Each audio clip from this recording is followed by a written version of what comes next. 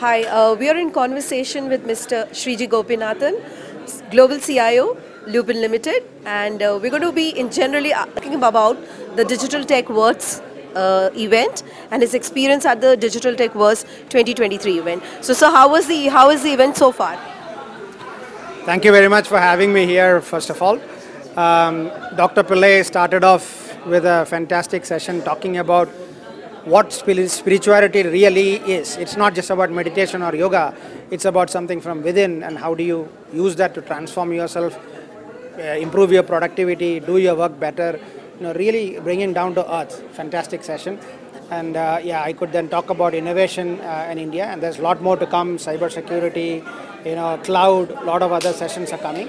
And there are these little snippets in between the quiz sessions that is happening, and you know, the Bollywood uh, snippets that is happening in terms of the quiz.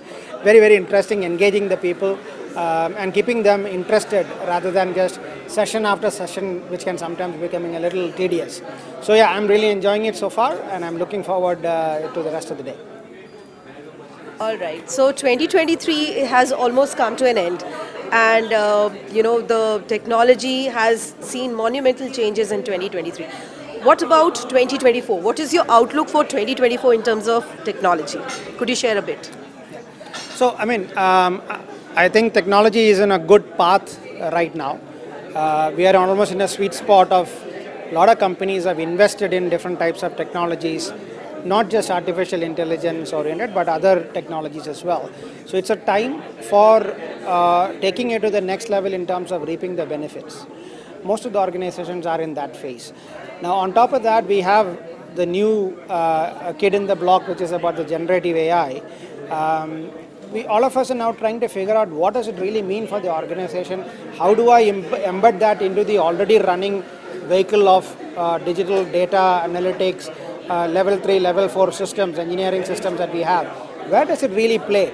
Is it about um, you know just text-oriented analytics or image analytics, or is there anything more to that? So that's where we are. I don't think we have a clear answer.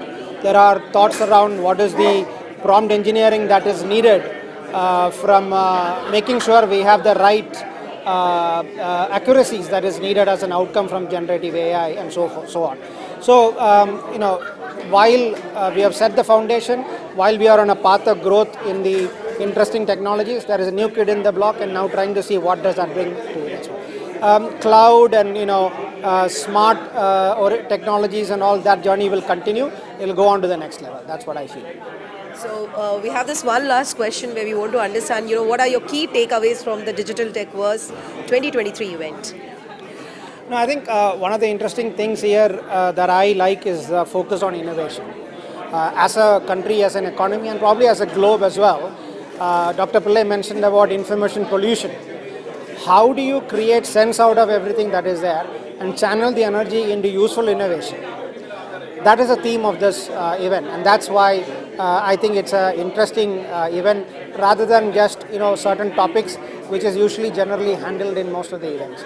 So that innovation focus is needed not just uh, for us as individuals, but for the country and the economy and the world at large. So let this journey continue, and I hope uh, you know uh, this is listened to by the key people uh, in the government system as well as the private system, so that something fruitful comes out of it. All right. Thank you so much. Thank you. Thank you.